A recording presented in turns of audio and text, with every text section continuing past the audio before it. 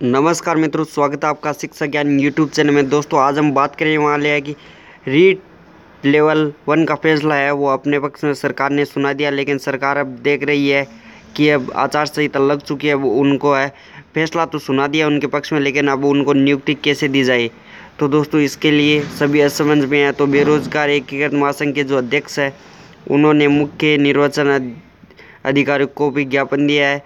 तो इसमें मैं आपको पूरी न्यूज़ बता देता हूँ कि राजस्थान बेरोजगार एकीकृत महासंघ की ओर से सोमवार को मुख्य निर्वाचन अधिकारी ज्ञापन देकर तृतीय से निशिक भर्ती लेवल प्रथम की नियुक्ति को हरी झंडी देने की मांग की गई है। महासंघ के अध्यक्ष उपेन्द्र यादव ने कहा कि प्राथमिक शिक्षा विभाग ने छब्बीस हज़ार पदों के लिए भर्ती निकाली थी। भर्ती का मामला कोर्ट में लंबित होने के कारण नियुक्ति है वो अटकी हुई थी।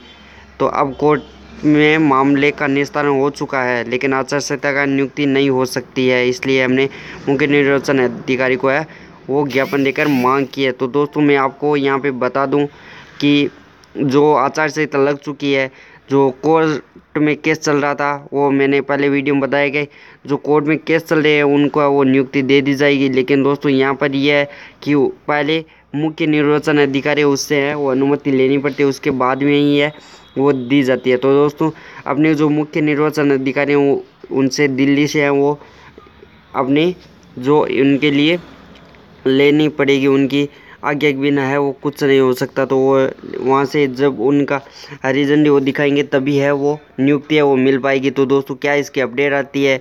कल तक लगभग इसकी अपडेट आएगी। उसके बारे में हम आपको जल्दी बताएँगे और जल्दी इस, इसकी रीड लेवल फ़र्स्ट के वो नियुक्ति है वो आपको दे दी जाएगी और जल्दी छब्बीस हज़ार बेरोजगारों को है वो रोज़गार दे दिया जाएगा। तो मिलते हैं नेक्स्ट वीडियो में। तब तक के लिए जय हिंद जय भारत।